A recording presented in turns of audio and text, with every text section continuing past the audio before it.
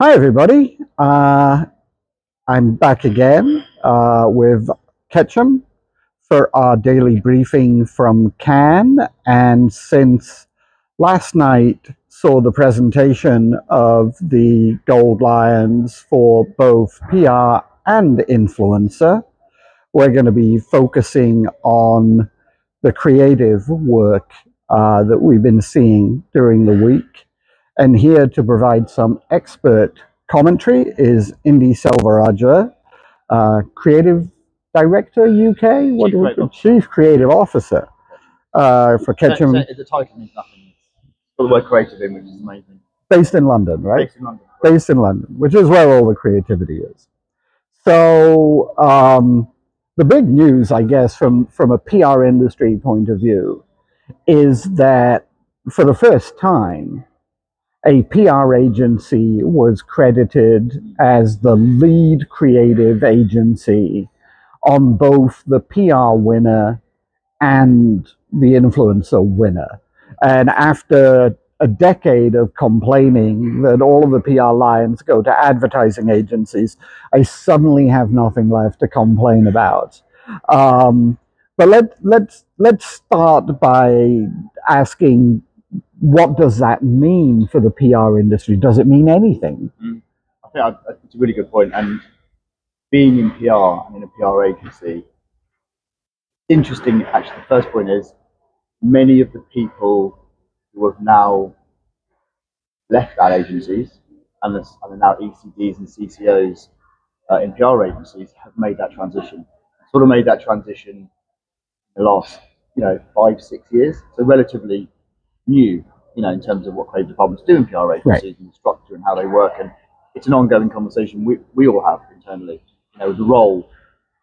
And so it's interesting for that reason. In that, I think it's I think it's great. I think it's a, it's a real marker in the sand, and, and long it may continue. But also, I think what's great is it shows the transferable skills that are happening into what are traditional PR shops. You know, when you think of Golin, you think of Ketchum, you think of Edelman has been there a little bit ahead, but Weber.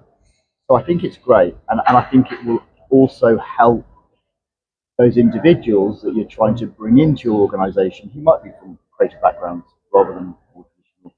Yeah, so so I think for that reason, it's a great thing, and I think it's also, you know, um, a really good point that, well, we'll come on to that in a minute, but the work itself, I think there's a big thing for me about humour.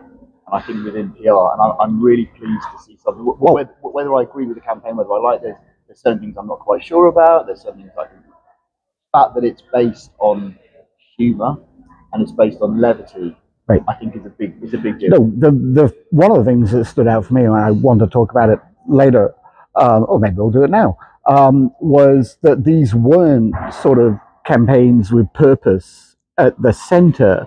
They were campaigns that made the brand the hero, and they were just smart, clever product marketing campaigns. Um, have we are we moving away from purpose, uh, or are we just expanding beyond purpose? I, I think it's expanding, and, and I think I think you could look at that as a purpose campaign in some ways for what it was for, you know, and actually the actual the, the solutionary tool, This is the Specsavers. Specsavers, the Specsavers offer for people, you know, with hearing tests, etc., that, that need to have it, and then further down the line, if you need to, you know, have, have some kind of tool to help you. But I think it's expansion. I think expansion is a good thing rather than it's this or this. It, it can be both. Um, and and I, I think that that's a great thing. And but the purpose side, you know, there, there's always going to be a place for it. I think a few years ago it was, it was big thing. Was charities, and it was. And I think, and, and I always think it's great to see winners across all the shows that aren't necessarily just charitable foundations and charities. I, I, think I think it, I think it helps with its brands. You know? Right. So tell me a little bit about what, what you think the judges saw in Golin's work for Specsavers that elevated it to gold. It had already won a, a Grand Prix to Grand Prix. Yeah. Uh, it had already won a Grand Prix in audio. Yeah. Um, so it's going to be one of the big talked about campaigns now at, the, at this year's event. Um, tell me a little bit about what you think the judges loved about it. Yeah. and tell me a little bit about your personal reaction. Well, it's interesting because this is where I find it quite interesting because this is obviously an international show, biggest international show, and I always felt, and, and I, I've been judging other things this year where, where it's been there, um, but it's also performed incredibly well on this one, this show. But it's also very culturally specific. So, so what I mean is, when, Yeah. when, when I've been looking at it, it's, it's as a as a British person, everyone goes, "Oh yes, of course." It's so specific from a from a kind of a, UK But it, it's also almost generationally specific as well, I right? so. I I mean, Rick so as well. Astley. But I think also what Riccati's done is just him. It was, a, it was a good choice, great choice. Obviously, it, it will work. The insight into the track, him.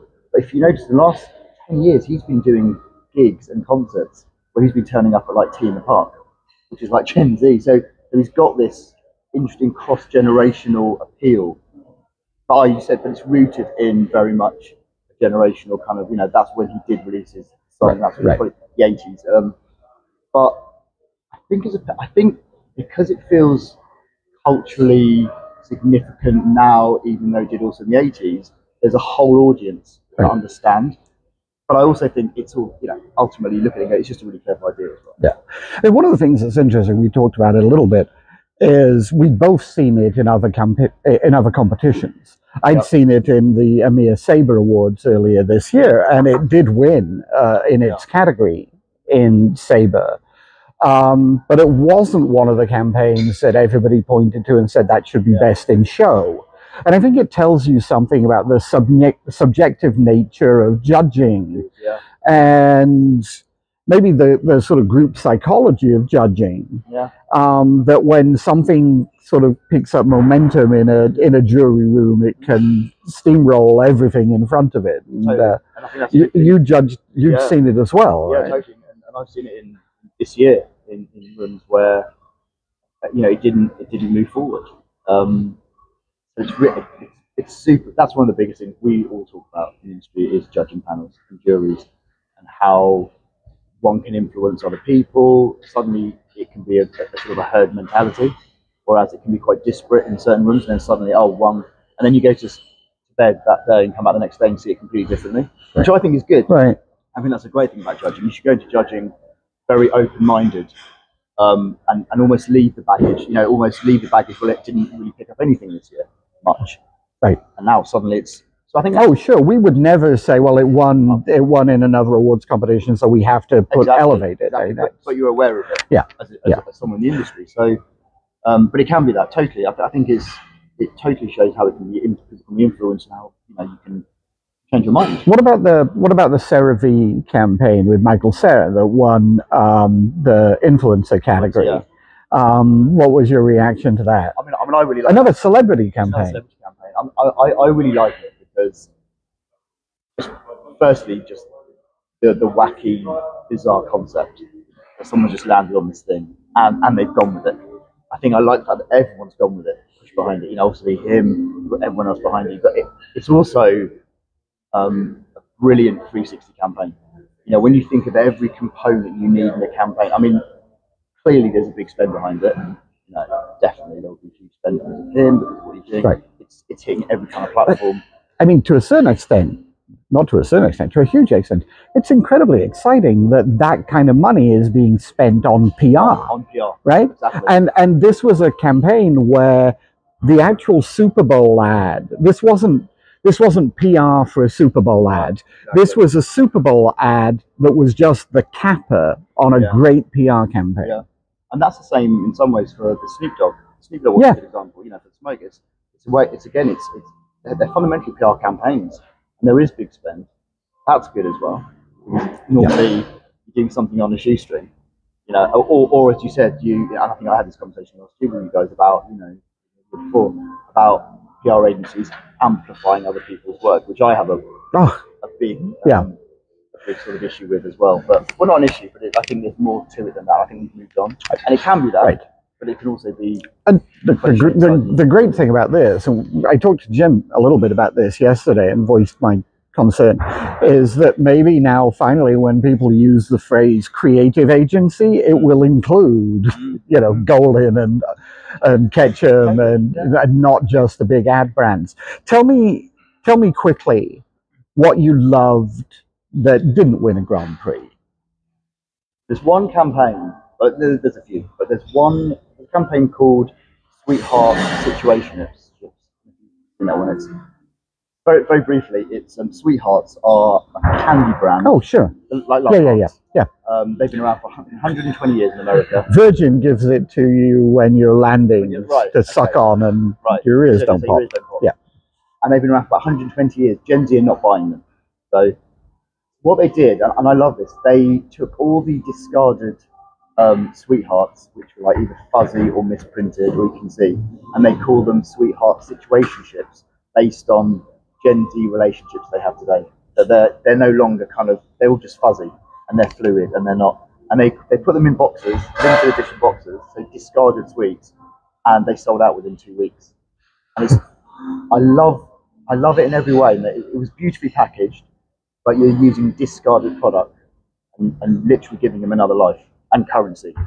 And the other thing that's lovely is they became limited edition, but also people had to wait for the new limited editions because you had to wait for the discarded. So there's a lovely play there with if there's less discarded because the quality of the sweets is good, you've got to wait longer for the limited edition. So it becomes even more, uh, you know, uh, something um, desirable that I think I think it won. It did win in PR. I think it won. It won a gold. Yeah. Um, and I think it got bronze somewhere else. But it's just painfully simple. hmm That's that's what I love about it. And also it's crafted. It's got a lovely craft to it feel. The only other one was translators, which I really liked which was Bank America, which was um, the first banking app for people uh, speaking with um, native Spanish. Because children were basically having to go to the bank with, with the parents and translate. Oh, right. No, I've seen that And- campaign and, in I- other awards. Um, That oh, Brilliant. that that did really well in SABRE in, in North America. solution all. Um, and also the jeopardy of if I'm a child and with my parent and it's in a school, for example. Yes, if, I'm you know doing transactions in a shop, but the jeopardy of banking, get something wrong, which can have knock-on effects. So so they they pinpointed, you know, the point where you need this translator the most Right. is for banking, Right. finance, for mortgages, but you know all those. And that was again just beautiful. And, and and they basically did, they also made films. So they made these little short documentaries about each of these children into film festivals. So you had that lovely sort of 360, felt like a big campaign. But ultimately, it's this very small little tool that you use. Overall quality of the work this year. I think I think the work's really good. I think the one thing I'm seeing at the beginning, which I love, is the craft. And I think you know everyone knows that you know when I talk about the work that we do at Ketchum, craft is a massive element. Always push the craft, and I think we're now starting to see some some real craft coming into PR. You know, there's always been elements, but I think now you can see there's a real movement towards this has to look beautiful, it has to feel beautiful, it's got to have you know a human touch to it that's been made in some way. So that's the biggest thing. The work is always great, and the work work is always interesting.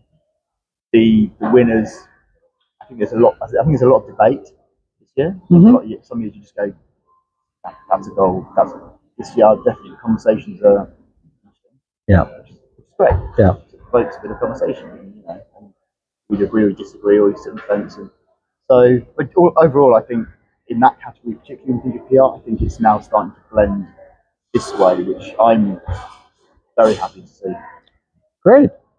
Okay, thank you very much, Indy. Um, glad you're enjoying the, the work as much as I am. And we will be back tomorrow to wrap up this week in Cannes. Thank you again to our friends at Ketchum. Thank you, Indy.